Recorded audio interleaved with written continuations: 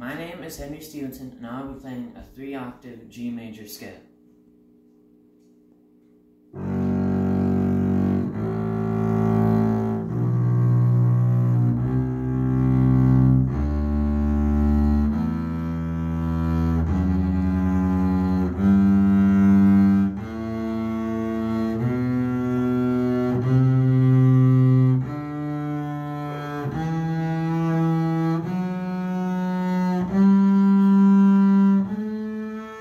Mm-hmm.